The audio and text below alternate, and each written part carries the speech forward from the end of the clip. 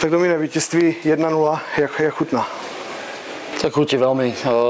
Vyhrať veľmi dôležitý zápas s mústvom, ktoré sa vlastne možno, možno mota pri nás na nulu.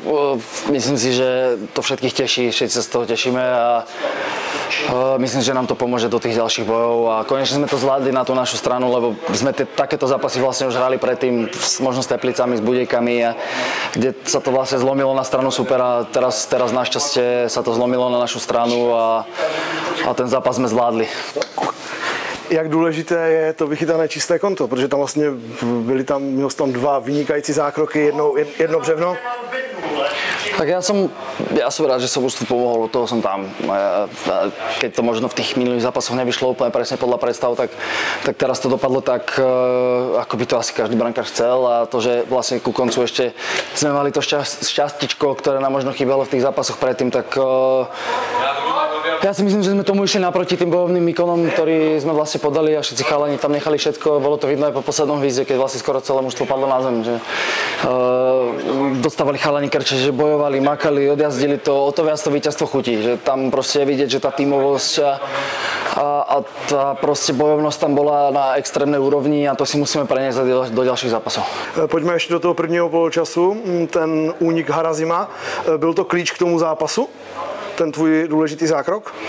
Tak keby sa to tam zlomilo na ich stranu, tak asi by to bolo pre nás určite náročnejšie, keďže oni vychádzajú z poctivej defenzívy, oni sa nepúšťajú do nejakých pressingových situácií a, a do nejakých extrémnych útočných uh, aktivít a vln, takže uh, ja som rád, že som v tom momente mužstvu pomohol a že vlastne v konečnej fáze sme to zlomili na našu stranu a vyhrali sme 1-0, takže dôležité to asi bolo a, a vravím, to že, to, že to potom chalani uchopili, takže im to pomohlo, tak to je len dobré.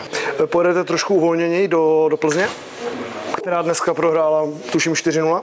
To som veľmi úprimne ešte nezachytil a ja si myslím, že tréner Jarabek nám nedovolí uvoľnenie a už vôbec nie do takéhoto zápasu. Jasné, e, my tam nie sme favorit, to všetci vedia, všetci vedia, že Plzeň je favorit a a že my tam pôjdeme s tým, že, že chceme spraviť čo najlepší výsledok a predesť čo najlepší výkon a možno hrať presne tak ako dnes, bojovne, jeden za druhého makať, pomáhať si a vieme, že futbal môže priniesť všetko.